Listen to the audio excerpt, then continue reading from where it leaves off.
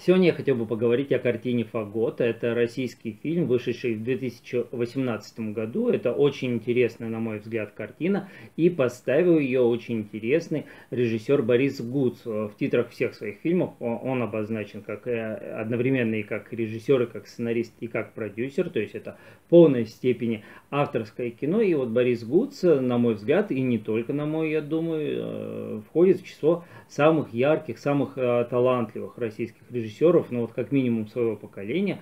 У него четыре картины, и каждая из этих картин, она очень оригинальна, она ну, как-то по-новому осваивает э, киноязык, а это вообще в, современной, в, нашей современной реальности очень непросто придумывать какие-то новые э, оригинальные интересные ходы вот именно с точки зрения рассказа истории, а вот Борис Гуц э, все время в своих картинах вот как-то экспериментирует и про нащупывает что-то такое новое, и вот Фагот вошел, можно сказать, в российскую историю, как, ну, во всяком случае, так заявлялось и так подавалось, и почему мы э, не можем этому верить, э, во всяком случае, других конкурентов на это звание нет. Вот фильм Фагот вошел в нашу киноисторию как первый фильм, снятый на мобильный телефон, ну, то есть на iPhone, по-моему, если я не ошибаюсь. Для 2018 года это было довольно-таки событийно еще вот как время бежит, э, как стремительно все меняется, сейчас этим уже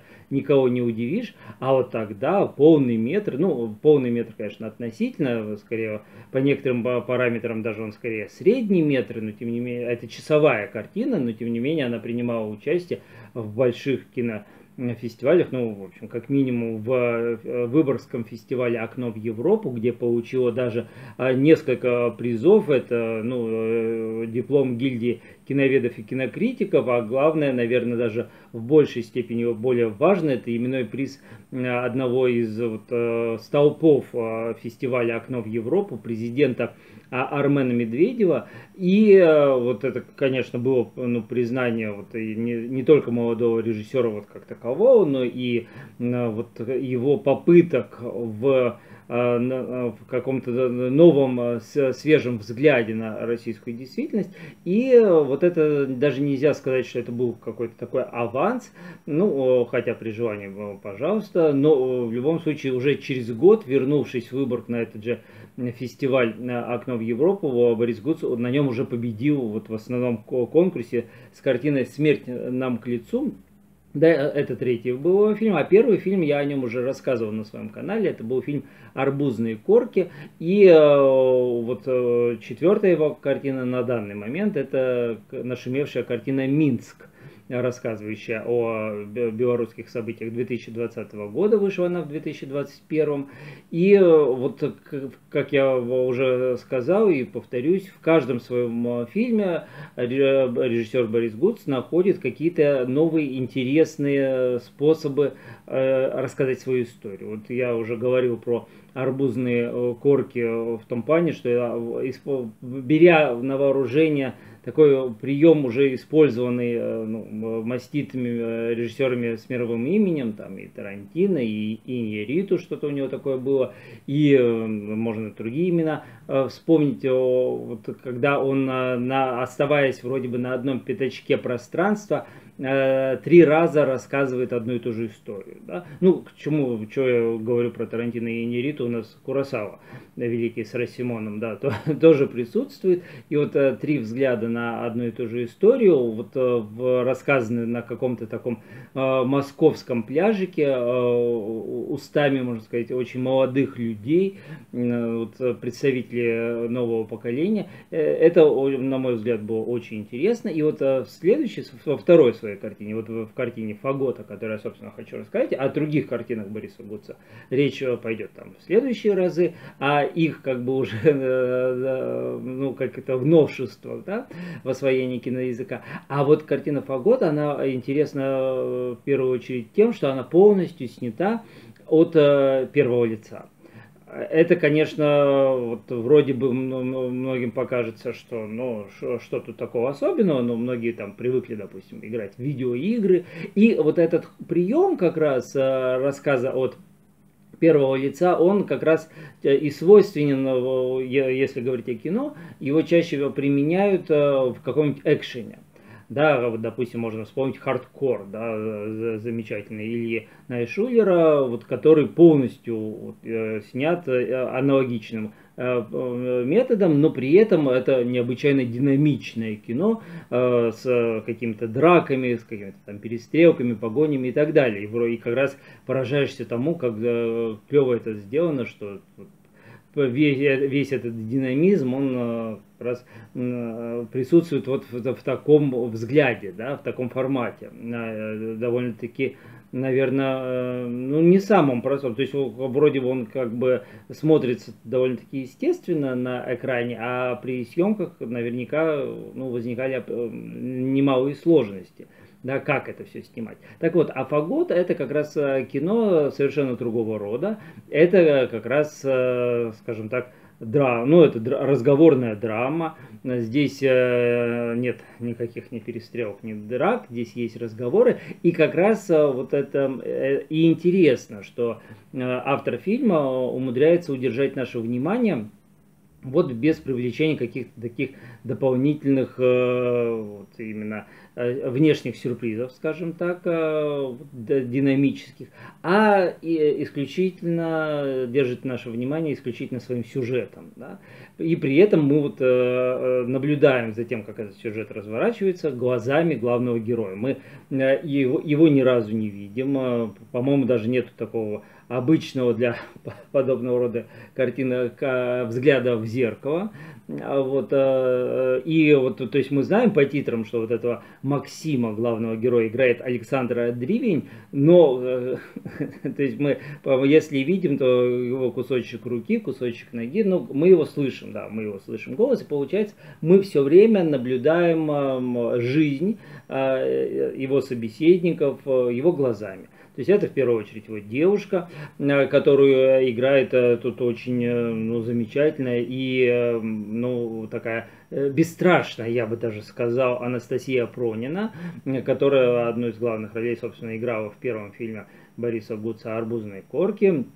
И вот, ну, тут тоже можно сказать, ее смелости актерской можно только подивиться. Ну, я в первую очередь имею, говорю о смелости в откровенных обнаженных сценах, скажем так, сексуального характера, все-таки у нас э, чаще всего актрисы довольно-таки стеснительны, и э, режиссеры э, ну, в массе своей а, снимать сексуальные сцены не умеют и не, поэтому не любят, и зачастую, если даже что-то и пытаются, то это превращается ну, в какую-то там невообразимую пошлость. Вот Борис Гуцу, должен сказать, у него получается. Получается довольно-таки ну, откровенно, реалистично, и поэтому естественно, нормально, и это не, не кажется каким-то таким, ну, и выпендрежем или преувеличением. В общем, э, тема секса в фильмах Бориса Вудса прочерчена, можно сказать, очень так э, жирненько. Ну, в этот фильм вообще, можно сказать, почти весь на этом построен. Сейчас я перейду к особенностям сюжета. И э, другая э, собеседница вот этого главного героя, это его мама, которая играет, наверное, э, главная, ну, а то есть, э, что значит главная звезда этого фильма? Самая известная актриса из э, актерского ансамбля, это Юлия Аук, которую, наверное, особо представлять как-то не надо. Ролей у нее огромное количество, и вот э, к ее чести она соглашается вот играть не только в каких-то таких крупных проектах, но вот и в небольших, э, можно даже сказать, скромно финансированных низкобюджетных фильмов, но тем не менее это э, все равно очень такая важная, интересная роль, и э, актриса справляется, конечно, э, как всегда, безупречно. И сразу же, я, раз я уже заговорил об актерском ансамбле, то надо сказать еще одной собеседнице вот этого главного героя, которую, опять же, мы видим исключительно его глазами, это его сестра, и тоже очень обаятельная, интересная актриса, которая мне в этом фильме очень понравилась, Ольга Коловай-Аксенова, и есть еще его коллега Тамара, которую тоже я не могу не выделить, потому что тоже она очень, э, ну, мне, э, ну, именно вот какими-то своими физическими данными, э, тоже очень так оставила по себе добрую память, скажем так. В титрах ее, ее имя, фамилия пишется как Анна Даукаева, но вот в кинобазах фамилия уже меняется на Анну Далингер или Далингер, но вот я надеюсь, что я не перепутал, что это вот все-таки одна и та же актриса, просто ну, в течение времени поменявшая свою фамилию, наверное, скорее всего, по каким-то семейным обстоятельствам приятным. А, вот, э, то есть принципе, если говорить об актерском ансамбле, он, э, скорее всего, может и не зацепить, скажем так, широкого зрителя, каких-то больших, ярких звезд, ну вот э, за исключением Юлии Аук, наверное, э, здесь нет, но тем не менее, вот все равно этот ансамбль, ну, все-таки легко заметить, что состоящий в основном из представительниц прекрасного пола, он очень такой интересный, и вот как раз вот возвращаясь к этой фишке, логики, которую Борис Гуц использует на протяжении всего фильма, он, э, мы наблюдаем за развитием событий исключительно глазами героя. Вот он едет за машиной, и мы видим, как значит, где-то минуту машина это рулит по улочкам, по дворам, вот где-то там. В это время он ведет разговор со своим другом. И, кстати, вот э, из титров можно узнать, что этого друга озвучивает сам режиссер, сам Борис Вудс. То есть вот можно, что называется, послушать его голос, хотя бы даже не увидев его. И э, все, вся история вертится вокруг того, что главный герой вот лирический, он хочет расстаться со своей девушкой. Там очень тоже интересная причина, по которой он хочет расстаться, потому что, ну, опять же, к вопросу о том, что Борис Гудс не стесняется каких-то таких э, подцензурных, скажем так, разговоров и говорит, что есть, э, говорит, что вот у нее у Оли маленькие сиськи, а ему хочется такого русского секса. Русский секс он понимает как э, когда член между груди, на что ему сестра очень примечательно отвечает, не может такая дрянь а, русской называться. Вот, то есть здесь, конечно, есть такое сочетание и, и интимных разговоров, и шуточек на эту тему, вот такого, э, может быть, и не самого замысловатого, но все равно по-своему симпатичного юмора. И вот этот герой, желая расстаться с этой своей Олей, он все никак не может найти слов, и вот, допустим, друг по, по, который с ним по телефону разговаривает, тоже ему какие-то идеи такие предлагает.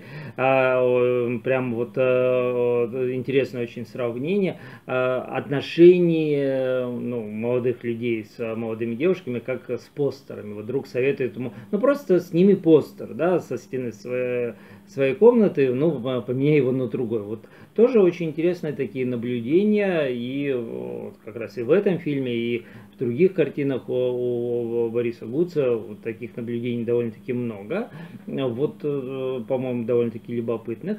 И э, вот э, выбирая из всех возможных вот каких-то вариантов, которые, ну, можно сказать, вот этой Оле, чтобы она от него отстала, она его отпустила, этот несчастный Максим выбирает самый такой ну, вот как-то это у него экспромтом вышло, журнальчик разглядывал э, с соответствующим, ну, таким с фотографиями наших поп-звезд, и э, он вдруг выдает, что он не, с ней не может быть, потому что он якобы гей.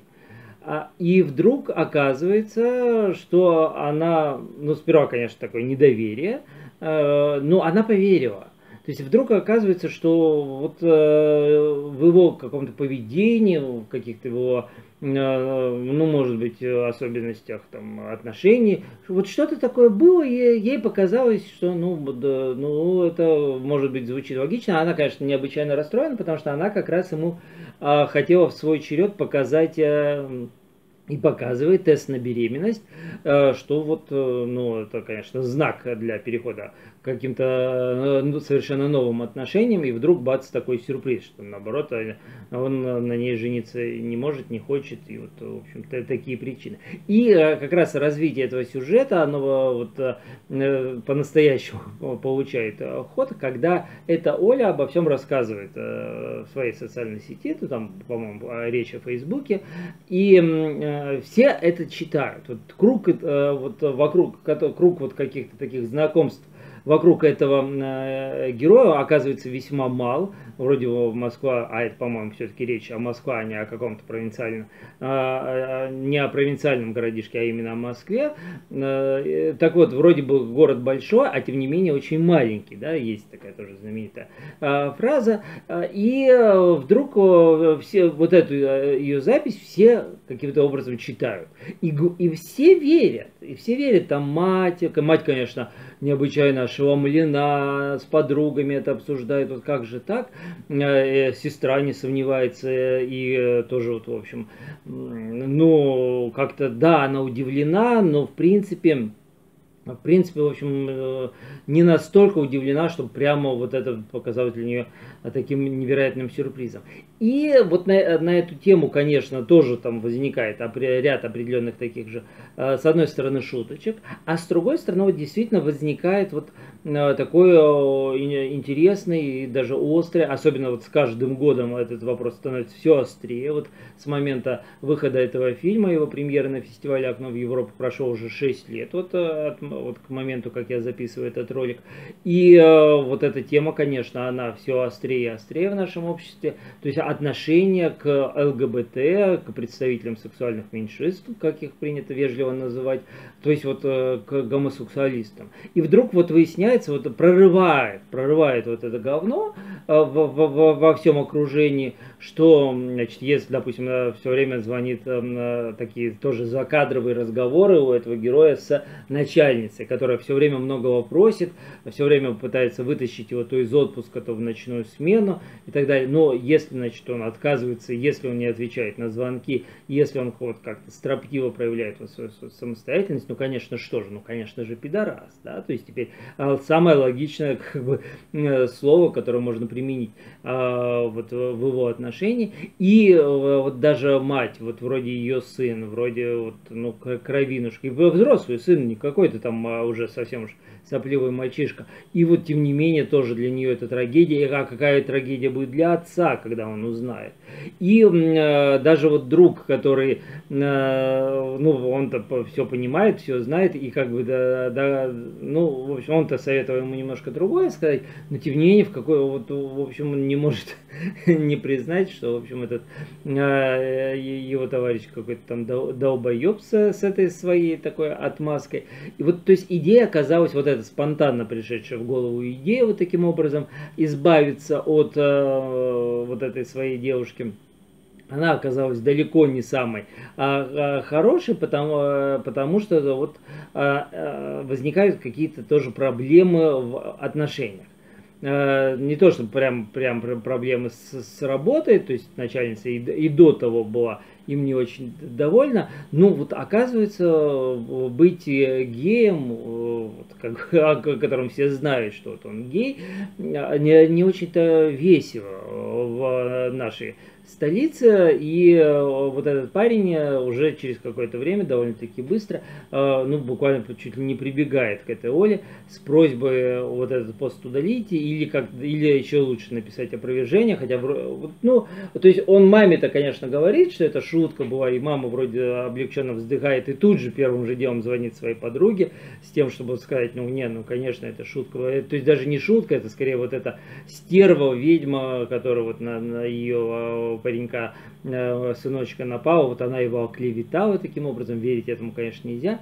Вот, но вот э, тем не менее, вот какой-то, соответственно, всегда осадочек остается. И вот самое интересное, постепенно, постепенно вот так проникая вглубь своего сюжета, не самого большого, повторюсь, картина идет всего лишь час, а, автор фильма, а, он вдруг приоткрывает такую интересную дверцу в прошлое героя, а, там вот даже вижу в первом разговоре какой-то там возник у него вопрос, а почему вот он, он помнит с детства, что вроде семья дружила с соседями, и как-то там все хорошо было.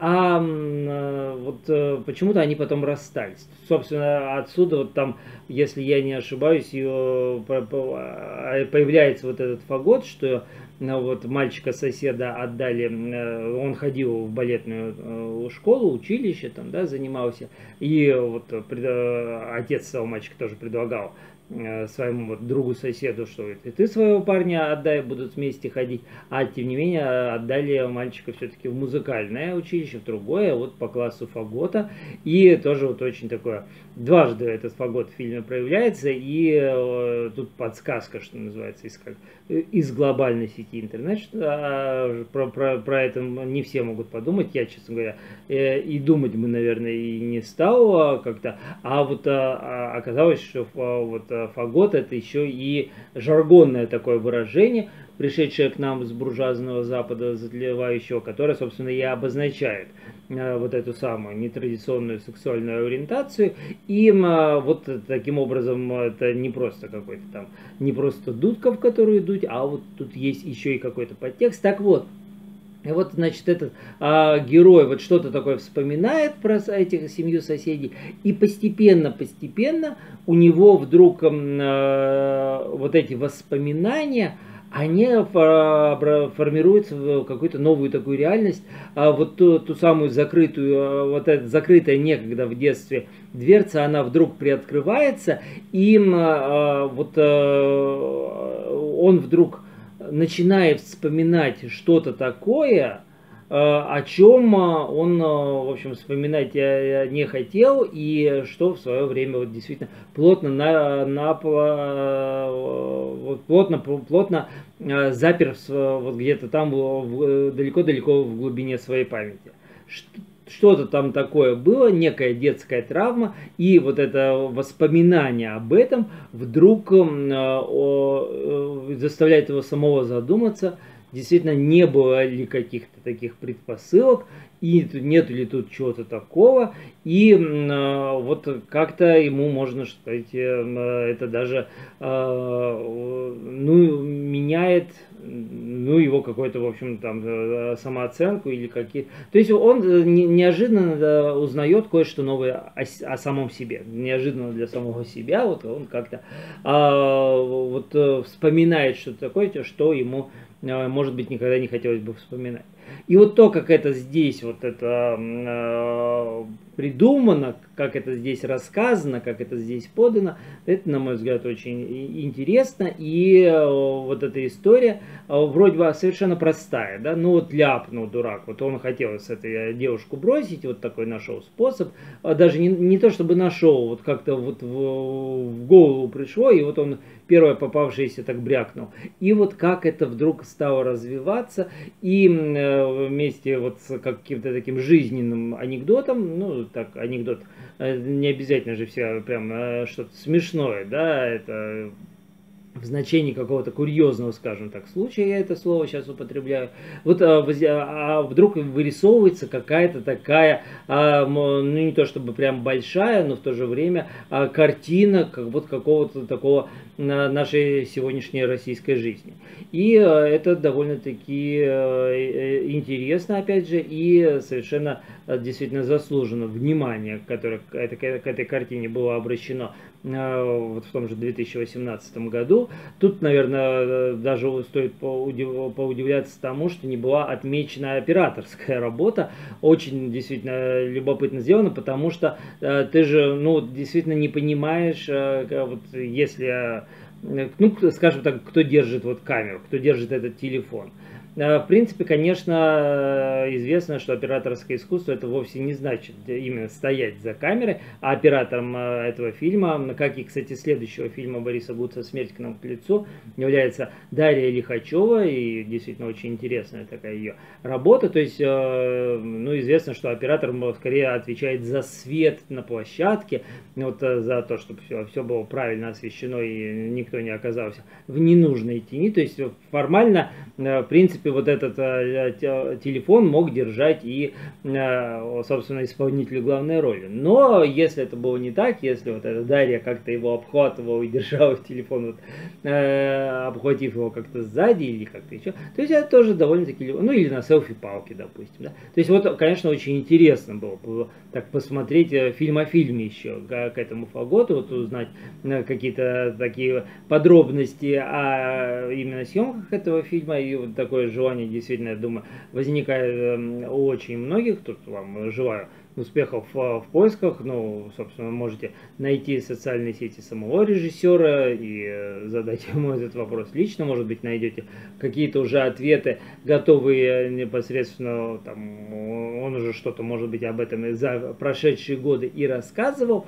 И вот действительно, это такое э, вот э, сочетание когда какая-то такая техническая фишка, изюминка, придуманная для картины, она очень интересно сочетается с сюжетом. То есть она не просто придумана сама по себе, что вот, смотрите, вот такая придумка, ха-ха-ха, вот, значит, как это все э, у меня тут э, э, интересно, визуально все э, придумано. Это имеет действительно прямое пересечение с э, тем, о чем рассказывается. То есть вот действительно этот сюжет, вот, э, он может быть э, померк бы или как-то иначе мог бы быть Э, воспринят, если бы мы э, его э, видели, его разыгранным ну, через обычную, допустим, восьмерку, да, кинематографический прием, когда сперва камера смотрит на одного собеседника, потом на другого. И так То есть, если бы мы видели этого главного героя, видели бы его реакцию, ну, то есть это, может быть, нас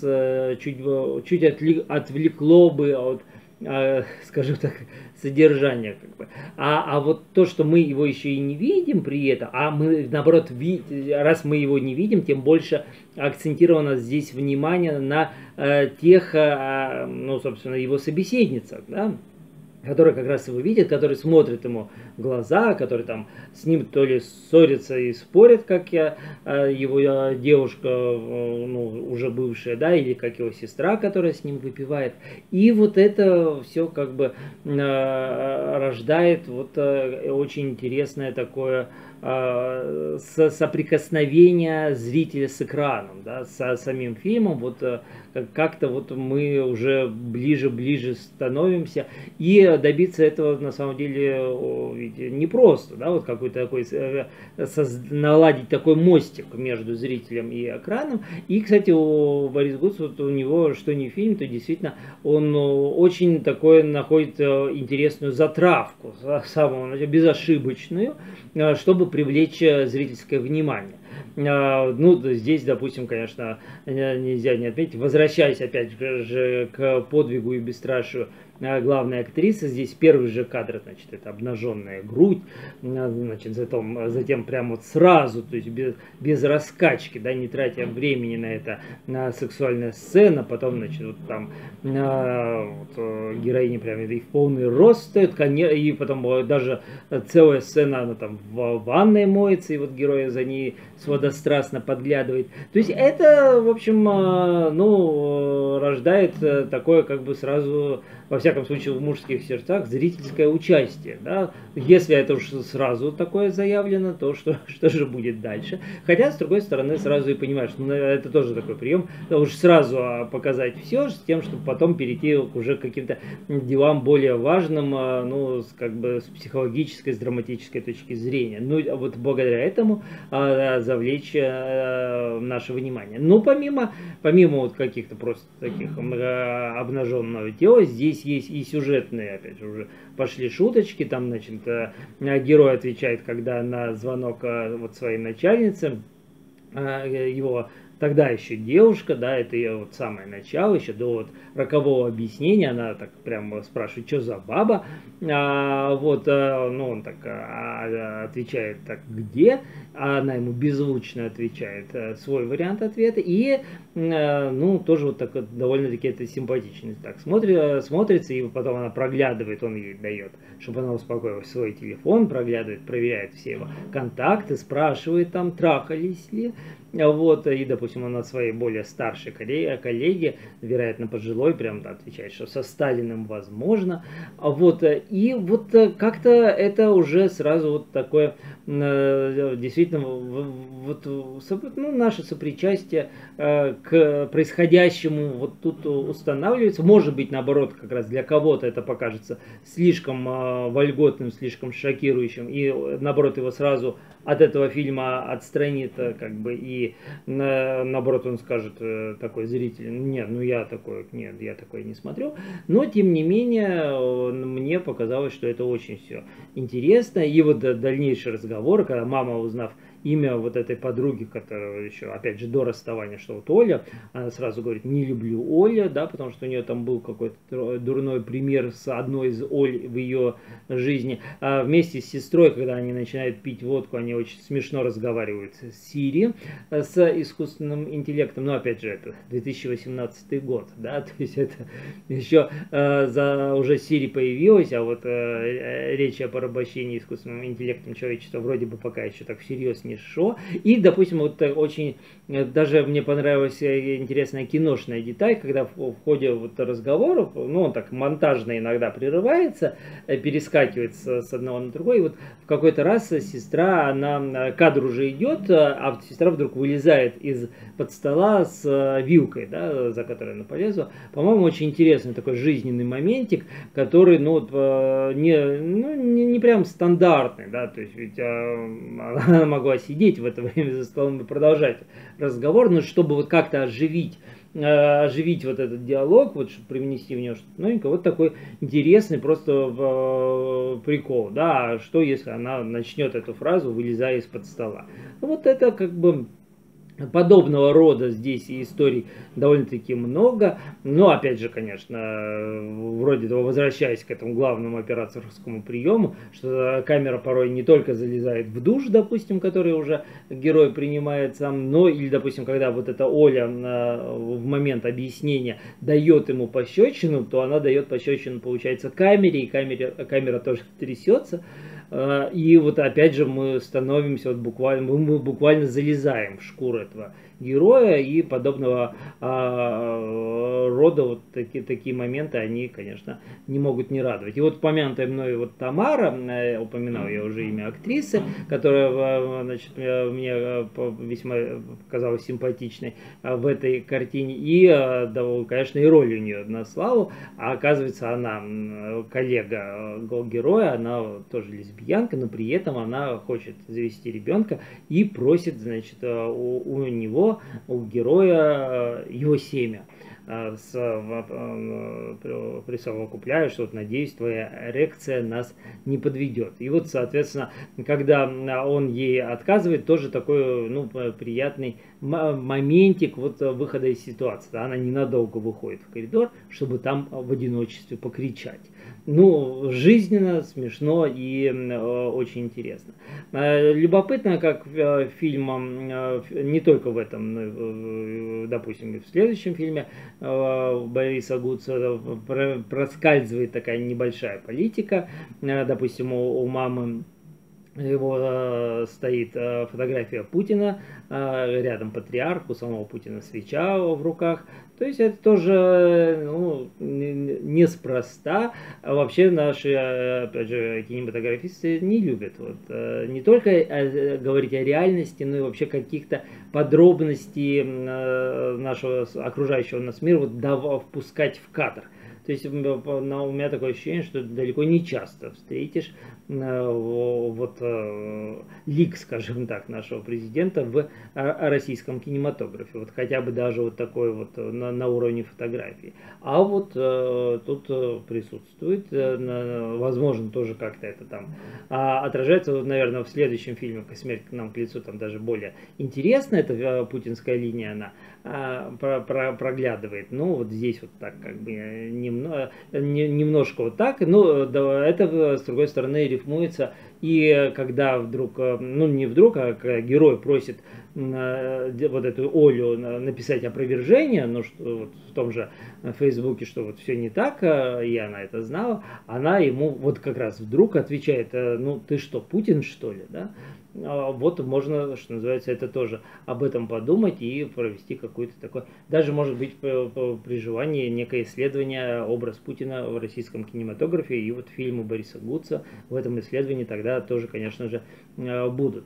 А, и любопытно, конечно, как он порой подшучивает и не только над самим собой, но и что называется, коллегами, когда та же э, сестра мной уже упомянутая, тоже вот Полина, она разглагольствует, ну, она обеспокоена э, судьбой своего сына, э, тем, что он тоже там не по годам уже взрослый, и вот она, значит, рассуждает, что сейчас же секс повсюду, а режиссеры вокруг наши вообще озабоченные. Ну, конечно, опять же, возвращаясь к теме, что секс у фильма, говорится, Гуцева представлен очень так э, интересно и а, довольно-таки откровенно, и, во всяком случае, без каких-то таких вот стыдливых купюр, а, ну, тоже, тоже можно это расценивать как такая шуточка по отношению а, к самому себе. Вот а, что мне показалось а, в этом фильме, ну, уж завершая разговор, немножечко такой в эту в целом бочку меда добавлю